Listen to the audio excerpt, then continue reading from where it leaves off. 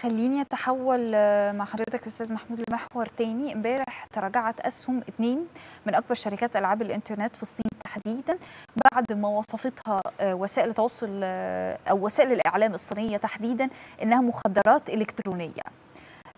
إحنا بقينا في ارا كده أو عصر آه، انجذاب للألعاب الإلكترونية ولو هقدر أحدد بشكل أكبر العنيفة. ده رأيك فيه إيه وسببه إيه يعني بصي الخبر ده فيه أكتر من رسالة مهمة جدا مم. أول حاجة فكرة الألعاب الإلكترونية إنها قد إيه تحولت إلى business طبعا يعني أسهم و10% وتحط الخبر بي- بينهار بعدين تشيل خبر فيرجع زي 10% البورصة. مم. فدي حاجة مهمة جدا وبتضر أموال رهيبة جدا مفيش بيت في مصر. أنا بنتي كانت الأسبوع اللي فات بتقول لي أنا عايزة من ال credit card عشان أجيب اللعبة لأسهم. يعني قصة كده معقدة في الآخر طلع انها ممكن تبذل مجهود أكتر وتشتري الحاجات يعني. بيعدوا levels آه levels أيوة. وحاجات كده يعني. بس في النهاية في فلوس ضخمة مم. بتحصل وإحنا متورطين فيها بشكل أو بآخر. دي نقطة. النقطة الثانية إن ده يحصل من الصين اللي هي ال- الدولة الأكثر يعني اقتصاديا وال والوحش والذي يقود العالم بلا بمادية بحتة بلا أي أخلاق فهم يحصل.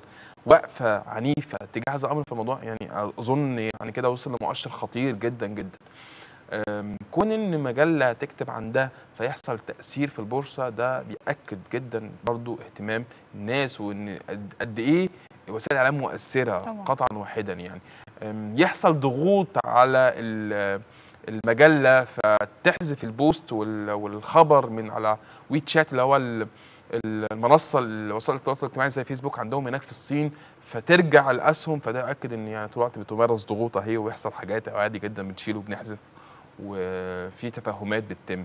فالموضوع فيه أكتر من قصة في خطر على الألعاب الإلكترونية.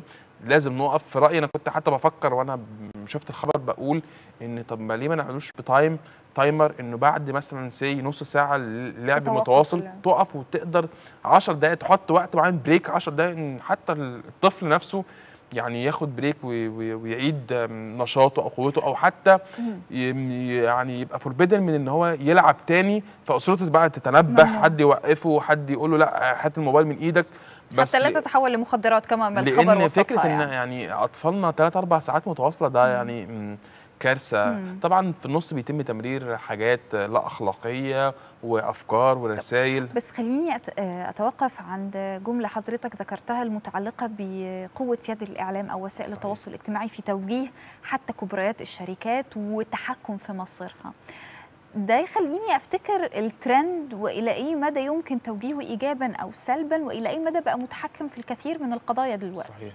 رأيك في ده؟ أم، الإعلام طبعا هو محرك أساسي للأمور واللي يتحكم في الإعلام يقدر يتحكم في كل شيء. إحنا شفنا إيلين بتويتر بيقدر يرفع آه، أسهم حاجات. ويرجع ح- أشياء أخرى. مم. وسائل التواصل الاجتماعي بتغريدة مضللة تقدر تقلب البورصة تقلب الرأي العام تشتغل على حاجات آه، كبيرة جدا. مصر جزء كبير من ربما يعني مح... أزمتها في الفترة الأخيرة أنها بتحارب حرب شائعات قوى خارجية أعداء غير مرئية. أنت بتصحى الصبح كده فجأة تلاقي ترند غريب ما تبقاش عارف هو طالع منين. طبعا بطرق أخرى تقدر توصل وتحلل هو طالع منين تكتشف إن هو طالع من بره مصر لغرض ما واتجاه معين.